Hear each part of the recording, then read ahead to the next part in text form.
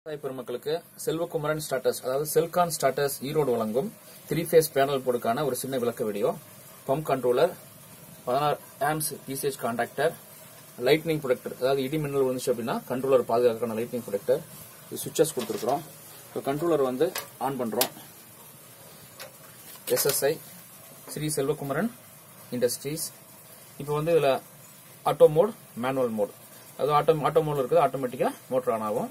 இப்போ auto start time ஓடிக்கிட்டு இருக்குது டென் செகண்ட்ஸ் ஜீரோக்கு வந்தோடனே மோட்டர் ஆன் ஆட்டோமேட்டிக்காக ஆன் ஆயிரும்.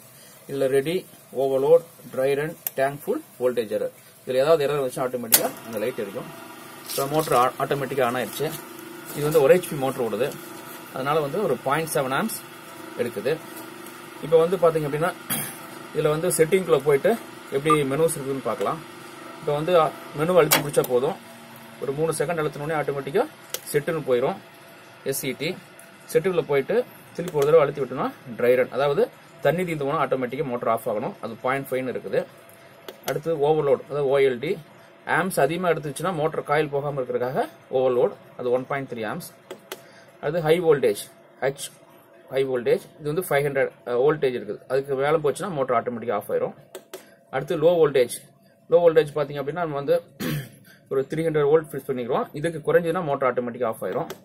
ஆட்டோ ஸ்டார்ட் ஏஎஸ்டி அதாவது கரண்ட் போயிட்டு வந்துச்சுன்னா மோட்டர் எவ்வளோ நேரத்தில் ஆன் பண்ணணும் அப்படிங்கிறத சொல்கிறது இது பத்து செகண்ட் வச்சுக்கிறோம்.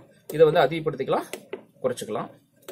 அடுத்து சிஆர் டைமர் இப்போ போரில் வந்து பத்து நிமிஷம் தான் தண்ணி இருக்குது அப்படின்னா இந்த சிஆர்ங்கிறத யூஸ் பண்ணி நம்ம ஆன் டைம் ஃபிக்ஸ் பண்ணிக்கலாம். பத்து நிமிஷம் வச்சோம் அப்படின்னா பத்து நிமிஷம் மட்டும் தான் மோட்டர் ஓடும். அடுத்து சி ஆஃப் எவ்வளோ நேரம் மோட்டர் ஆஃப் ஆகிருக்கணும் அப்படிங்கிறத சொல்கிறது சி ஆஃப் அதுக்கு வந்து ட்ரிப் டைம் ஏதாவது ப்ராப்ளம் வந்துச்சுன்னா உடனே மோட்டர் ஆஃப் ஆகணும். அதாவது ஃபைவ் செகண்ட்ஸில் மோட்டர் ஆஃப் ஆயிரும்.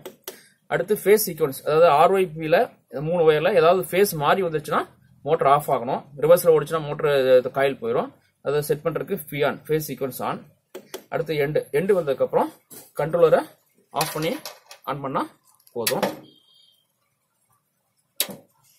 இப்போ வந்து ஆட்டோ செட்டிங் எப்படி பண்ணுறதுன்னு பார்க்கலாம். நம்ம மற்ற கன் கம்பெனியோட கண்ட்ரோலருக்கும் நம்ம கண்ட்ரோலருக்கும் என்ன டிஃப்ரென்ஸ் அப்படின்னா நம்ம வந்து பார்த்தீங்கன்னா ஆட்டோமேட்டிக் செட்டிங் வச்சிருக்கிறோம். அதாவது பார்த்தீங்க அப்படின்னா மோட்டர் ஓடும்போது ஆம்ஸை செட் பண்ணுறதுக்கு ஆட்டோமேட்டிக்காக நம்ம செட் பண்ணிக்கலாம். அதுக்கு எரர் அதை வந்துக்கான ஃபங்க்ஷன்ஸ் இப்போ பார்க்கலாம்.